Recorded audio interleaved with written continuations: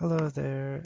Uh, in this video, I'm going to show you how to get set up using Golden Dict uh, for Tibetan translation. Uh, Golden Dictionary is a very useful application that allows you to compile a variety of dictionary sources and search them all at once. So in this video, I'm going to show you some tips for installation, um, how to arrange online and local sources, and how to resolve any font issues that might uh, come up. Uh, supplementary to this video, in the next video, I'm going to show you how to create your own uh, dictionary files for use in Golden Dict um, from a spreadsheet or text file. So uh, let's get started. Uh, first, I'd like to direct you to this digital Tibetan uh, Golden Dict page. There'll be a link in the video notes. Um, also, any other websites I visit through the video, um, I'll post in the notes as well. Um, but this is a really good guide and it takes through you through much of what I'm going to show you in this video. Um, but if you scroll down to installation, it will say that it recommends the early access builds version 1.5 or newer and gives you a link to the GitHub page um, where you can download the latest version, uh, download the installer right there. Um, it also works for Mac OS, um, although I hear from some Mac users that they prefer to use the built-in um, Apple dictionary um, that works similar to Golden Dict. Um, so that's up to you, but um, I believe it should work fine. In, Golden Dict should work fine in Mac as well. Um, and it also works on Linux. So go ahead and install Golden Dict and um, it should, when you open it up, it should look like this. So what's really great about Golden Dict is it allows you to compile a bunch of sources. For each source, it creates a little icon in the uh, toolbar here, and then you can flip them on and off depending which ones you want to search. So the little books here, if you hover over them, it'll tell you what they are. The little books here are um, files I have on my computer, and the W's are Wikipedia pages, uh, Wikipedia databases, and then the um, globes are other online um, Tibetan dictionaries. Um, so if I want to search a term like uh, Sangye, for instance, I can just uh, search everything at once. So here's some local files. Here's the, the Rigpa wiki. Here's the Tibetan wiki. Here's the Christian Steinert, uh, Steinert dictionary. And then here's the TH-lib dictionaries. So that's really great. Um, I also have here a uh, collection of um, translation memories all placed into a dictionary file. So if I, for instance, if I search Sangye by itself, it doesn't find anything in there because there isn't a translation memory that's just that one word. But if I begin to query Sangye from the uh, search bar, it will show me, and I've turned all the other dictionaries off except my translation memory search here. Um, it shows me all the TMs that have that word in it so I can see how that word would be used in an, an example sentence. So that's really handy. Um, uh, supports a lot of different dictionary formats. To see, go to uh, Golden Dict references and uh, I go to the help page and then the second chapter is supported formats. Uh, most of the ones I'm using are in this StarDict format, but there's a lot of supported formats here. Um, and so I'll show you some examples for how to set up those sources. You set them all up from the dictionaries interface, edit dictionaries. Um, so here the first tab in sources contains all the uh, files. So you'll add a folder for wherever you want to keep your dictionary files.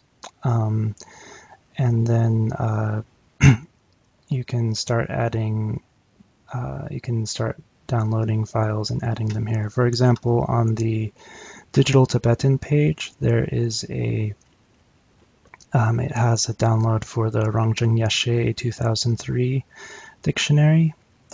and so you can, um, it actually contains three files. Uh, this is the StarDict format right here. There's a dictionary file and a that contains all the keys, and then an index file with all the definitions, and then a uh, third file that identifies the dictionary itself.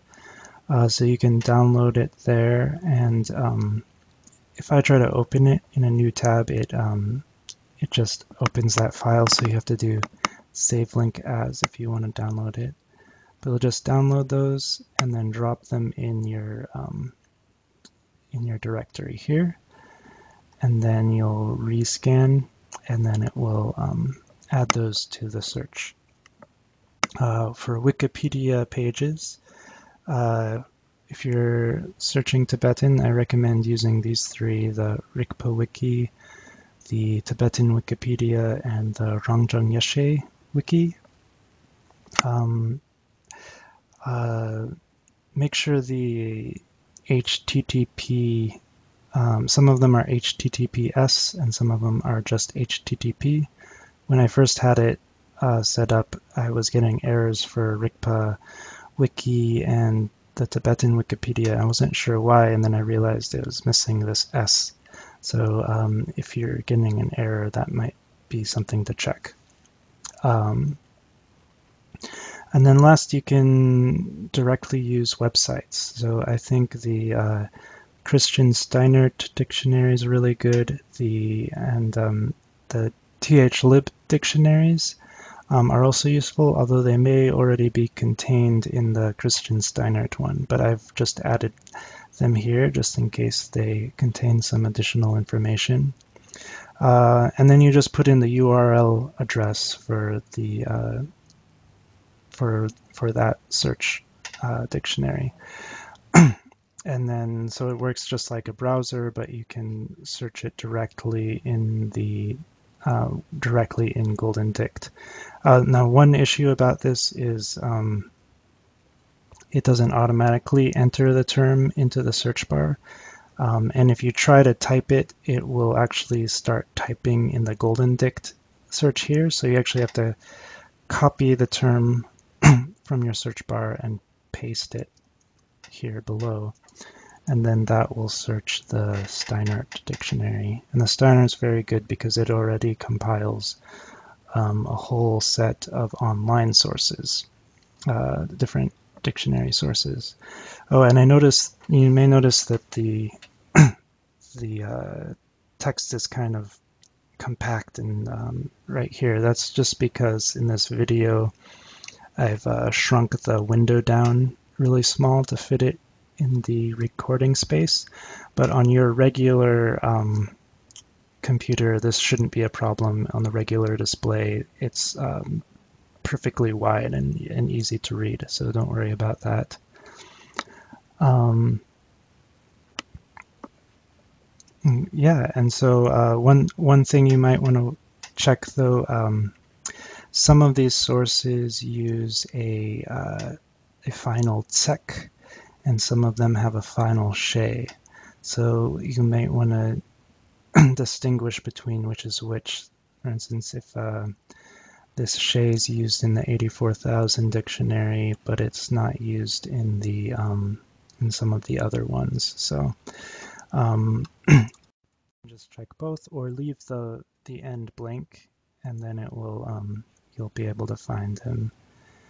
Um, they'll they'll initially show up when you when you uh, start searching from the bar here. As you can see here, now I can see the one with the tsek and the one without, with the she.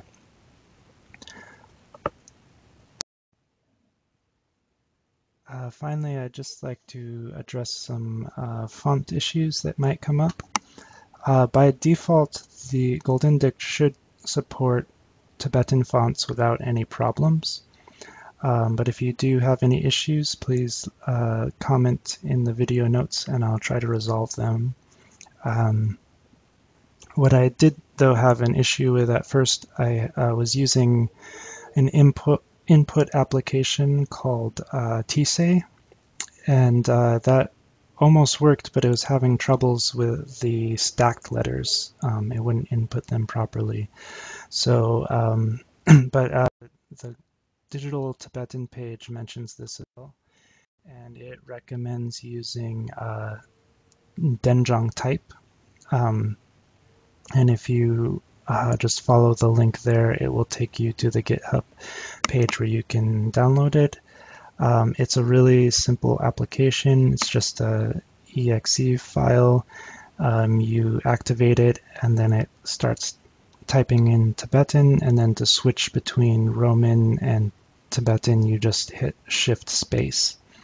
Um, and it has Wylie input or uh, a Tibetan keyboard input as well.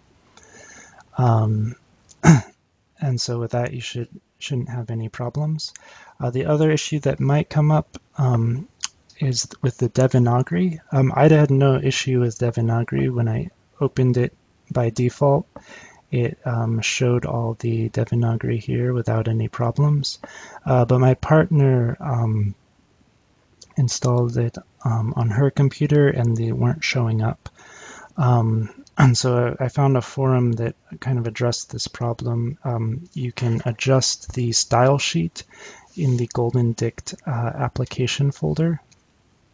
And um, I'll leave some detailed notes uh, uh, in the video notes uh, for how to do that. Um, it's just a simple seven-step process. Um, I'm not I'm not using that on my own computer, so I won't step you through it here, but you should be able to follow that and it will display the Devanagari without any problem um, if you're having issues with that. Um, um, so yeah, that's pretty much it. Um, Thanks for checking out this tutorial. Uh, as I mentioned in the next tutorial, I'm going to show you how to create your own uh, dictionary files from a spreadsheet or a text file.